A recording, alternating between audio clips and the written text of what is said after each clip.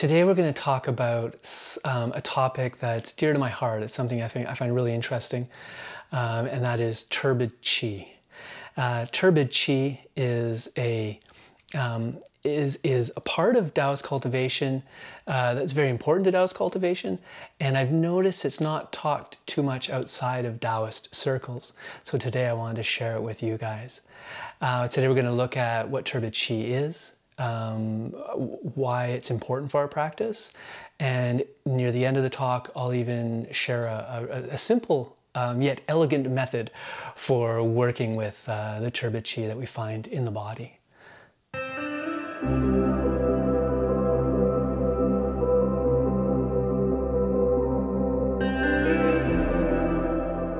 So turbid chi is, uh, is a big part of Taoist uh, cultivation, working with turbid qi and learning to clean out turbid qi.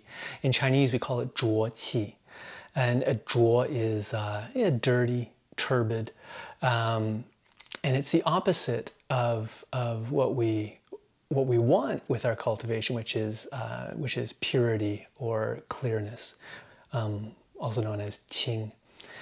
So uh, in the early days of our practice, when we start off on the, on the path of Taoist cultivation, especially with internal alchemy, um, we need to clean turbid qi out of the body.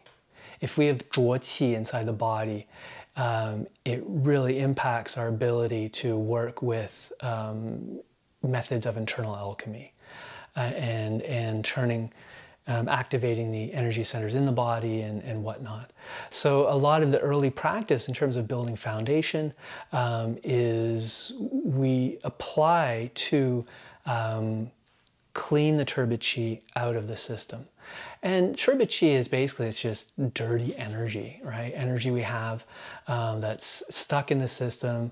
We're holding on to it. And it's stuff we, we uh, often don't want to let go of. Um, it can manifest as uh, emotional imbalances or um, stresses, fatigues, um, even sickness within the body. Um, and it's, you know, a, a, nice way to think about it uh, is a metaphor of you take, take a glass of, of water. Um, and glass of water generally is, is fairly uh, clear, right? Um, and you put some dirt in it, you mix it up, uh, and the glass become the, the, water becomes muddy right? And when you have that muddy water uh, that's turbid chi that, that's a, a, metaphor of what's happening in the body right? You it's opaque. You you can't see you can you can no longer see through the the liquid in in the glass. Um, and it greatly impedes our ability to make progress with the, the path of, of Taoist cultivation. Now, a lot of the dirt, a lot of the mud is, is stuff from the past. Um, and that can take different forms, um, energetic forms, and come from different causes, right? Uh, and so what I mean by past is past in, in this life, um, and also our previous lives. Um, if you're not comfortable with the, the idea of, of, reincarnation and, and whatnot, then just ignore that part. It still applies. Um, so turbid chi, uh, in the early days of our practice, we, we, we work we use different methods and techniques to clear the qi out of the system, right? Um, in, in a, in a um, in an attempt to um, return to a, a, more pure and clear state. So if we go back to that metaphor of, of the water and the glass, right? We've we got the, the, the water in the glass, you've mixed it up, it's muddy. The first thing we can do to begin clearing that out is just put the glass down and allow it to return to stillness. So stillness or jing is often seen as the first stage along the path of Taoist cultivation. Um, and jing is a is a is a um, uh, an essential an essential ingredient in what we need to do uh, in terms of Taoist cultivation, right? And so the next thing beyond Jing is usually is Qing, and that is um, uh, purity or uh, clearness. It can be translated either way. Uh, and so we put the glass down, we allow the, allow, allow the water in the glass to stop moving, become still. The, the water in the glass, be- as it becomes still, the sentiment in the water begins to settle, right? And you start gaining some clarity within the liquid. So again, it's a metaphor for the body. So first we, we go into uh, our, our session and we work with stillness, develop stillness. The next step above that is qing or purity, uh, clarity, cleanness, um, and purity. Uh, so that's that's a nice metaphor that helps us um, helps us work with uh, qi. So as I mentioned earlier, you know, like a lot of the the qi, it comes from the past. Um, so in terms of it can come from even just in your in your day-to-day life. Um, we're embodied beings. We, we live in a three-dimensional world. And there are certain um, stresses that um, that we can that impede upon us that can create um, more zhuo or the, the turbid qi, right? So, you know, example, example I use a lot with my students is, you know, if you're driving down the street and, and someone cuts you off and you, you, feel, you feel whatever you do, anger, you know, or whatever it is, um, then that is, um, that's probably creating some turbid qi inside your system. Yeah, and it's probably something that if you go, you know, you go home and, and you, you, do a, a, session later on that night, you know, if it if it was really stressful, uh, um, then you'll probably find that that that's still in your system, right? That it's hard to get into the zone and hard to really focus on the work that we want to do with internal alchemy. Um, it, it gets in the way, right? And so we want to clear out that turbid qi, and, and the Taoists call it the qinglu, the the um, to purify the furnace. So the first level of Taoist alchemy, the body is the furnace. And so one of the, the method, one of the things we do, the processes that we do is we, we, we clear out the turbid qi, we purify purify the furnace. And so stresses throughout the day, um, trauma from earlier, often in childhood, we have childhood traumas or whatnot, things that we're holding on to inside emotionally or whatnot, um, often manifest as turbid chi. Um, and then, of course, um, we have uh, past life stuff, uh, and that um, manifests in our manifests itself in our system as um, what my teacher, Wang Liping, calls reincarnation energy. The It's, it's the energy um, that we carry with us from past life. And it's usually always uh, negative. You know, it's the stuff that we don't like, we don't want to feel, we don't want to deal with. Um, and so we, we uh, suppress it, lock it away because we're not able to face it or allow it to um, to, to leave because if in order for us to process it out of our system we will need to, to feel it to re-experience what that is. And and you know that can be you know if, if it's really nasty stuff sometimes you don't want to do that right? And so turbid chi comes from reincarnation energy. It also comes from you know stresses and traumas in our in our current life. Um, and another word that the Taoists use to talk about working with uh, with the turbid qi is um, repentance training, uh, guo. And so guo, which I won't get into in this talk too much, just touch on it briefly, is just a way of completing um, stuff from our past, right? So if we have stuff in our past that's it's negative, it's nasty, um, and it's not. It, it, it, creates a pattern, a shoot, uh, a sequence that's going, that's somewhere in, in the sub. I guess in the West we call it the subconscious, the unconscious, I can never really differentiate those two. I know I think there's a difference. Um, I, I, don't I don't know Western stuff that much, um, but it, it, it's going on in the background. It's like if, if you have a you know computer a computer and you know in the background you might have some some programs that are going that are just eating up your your memory, right? And you need to shut them down, break those sequences, stop those sequences from from continuing, and shut it down to clean up and free up um, more space, right? Um, if you want to use a computer metaphor. And so um, the, the turbid qi, is it's, it's dealing with all this kind of stuff.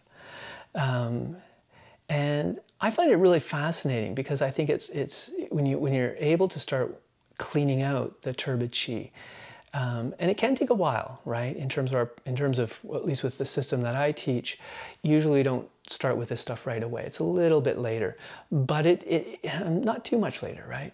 Um, and it can be uh, it can be difficult, but it's the benefits are great, right? Um, because what happens is we often have these these kind of habitual um, thinking patterns that are that are going on, and that's tied up with the turbid chi. That can then be creating new turbid chi, right? So if we go back to that getting cut off in traffic, right? Um, you know, if, if you have a reaction against someone cutting you off, you get angry. Um, if that's a habitual reaction um, and your mind, um, it's a patterned response, then if we don't stop that pattern response, we're going to end up just creating more uh, turbid chi inside our system. And so the trick is trying to figure out how to um, break those patterns, the sequences, what the Taoists call the xu. Uh, stop them from happening, right? So we don't create more turbid chi. And it, it, takes it takes time. It takes it takes work. It takes practice. Um, but I thought with with uh, with you guys, what I'd do is I would share a really uh, simple way that we can work with turbid chi and help break those patterns that are going on so that we don't create more turbid chi and that we can begin the process of, of purifying the furnace.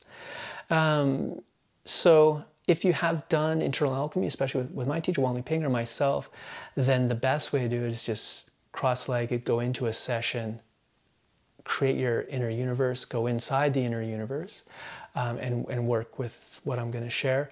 But if you're not, if you're if you're another, if you practice something else, um, or even even if you're not a practitioner, um, you can give this method a try. Uh, it's, it's fairly simple, and it's it's this. The next time you're upset about something, something pisses you off, whatever it is, you're reading the news or whatever it is, um, notice that you're pissed off. Notice you're upset right? And then just ask yourself this very simple question Where do I feel it in the body? So you don't need to think about it. You don't need to think about what it is or, or, or if it, you know, is it a valid reason to be upset or why you're upset or all that kind of stuff. Like just, just ignore all that just for a moment and just ask yourself the question, where do I feel it in my body? Right? So if we go back to getting cut off in traffic, uh, you know, if, if, if, it's an anger response, um, you might feel it, maybe you feel it in solar plexus, or maybe you feel it in the throat, you get a lump in the throat, whatever that is. Just notice it, right? You don't have to analyze it, you don't have to think about it. Actually, it's better if you don't think about it. The whole point of this is breaking those um, habitual thought patterns, right? Getting out of the head and into the body. Don't think, feel, right? And just ask yourself the question where do I feel it in my body? And actually try to feel it in your body. Like, where is it? It's kind of a weird question, right? And for if, if you have never practiced this sort of stuff before, it might be a little tricky. But if you've done, you know, qigong or neigong or tai chi or whatever it is, or even just yoga, um, uh, then just you know you're probably starting to get a sense of your body as as um, a part of who you are, of your experience of, of being, right? By asking that question, where do I feel in the body? You just tune into that place. You can even put your hands on your body to, to help you tune into it um, and just sit with it. And just by doing that, it's a, an amazing way to break the habitual patterns. It helps us stop making new turbid chi, and we might even be able to move it it might even be able to, to process the, the turbid in that area of the body. Because where you feel it, there's going to be some turbid in there. Um, and if we can just sit with it, feel it, and, uh, and just allow, right? You don't have to think, okay, I'm going to move it, I'm going to do something with it. You don't need to, to do that. There are methods you can use, but for this, just keep it really simple and just feel it, and then just see what happens, you know? Um, and um, now, if you have practiced Wang Liping stuff or my or what I teach, um, and you're you're actually in a session doing it, uh, then you you can also, if you want, you can do some breathing with it, contraction, expansion breathing, which you'll know how to do if you've practiced this stuff with. Um, and you can even uh, learn how to move it around inside the body, or even move it into the uh, midline of the body, and then drop it down into the the lower dantian, the xiatian and breathe, breathe with it in the xiatian, contract and expand it as a way of burning it away. Right? That, that's how you really, that's one of the amazing way of, uh, of purifying the furnace, qinglu, right? Um, and that's a more advanced way, so you need to have all the, the different techniques and methods for that. Um, and you can try that as well if you have, if you have those techniques and methods at your disposal. And if not, then just do just just find it in your body, sit with it, let it go. And that's a it's a, it's a powerful, a simple yet powerful way of, of, of working with turbid chi and clearing out turbid chi and coming back to the present, right? So much about turbid chi is it's it's like our energy is locked into the past, right? And so what we're trying to do is, is reclaim that energy, right? And the more that energy we, re, we reclaim into the present moment, the more vitalistic we'll be, the healthier we're going to be, the clearer we're going to be. And this is when we really can start to get the idea of qing, of purity, clarity, right? So stillness is good, but we then once we got stillness, we want it, we want to start purifying and cleaning. Um, and then the world becomes cleaner. There's more clarity in terms of our day to day experience, our interaction with other people, um, clarity of vision of what you want into the future, right? Uh, we, we, it's, it's a wonderful process if we can learn to um, purify that turbid chi and get it out of our system. Um, yeah, so Zhuo Qi, that's, uh, that's a brief, brief introduction, um, and I hope that's helpful. Uh, it's an interesting part of the practice, and um, it can be challenging, right? Uh, it's, it's, not comfortable uh, sitting with Zhuo Qi with turbid chi, um, but it's, it's an important part of the practice, and it's something that is it's very beneficial for us and the people around us um, if we can move, move it, move through it, and, and, and purify it out.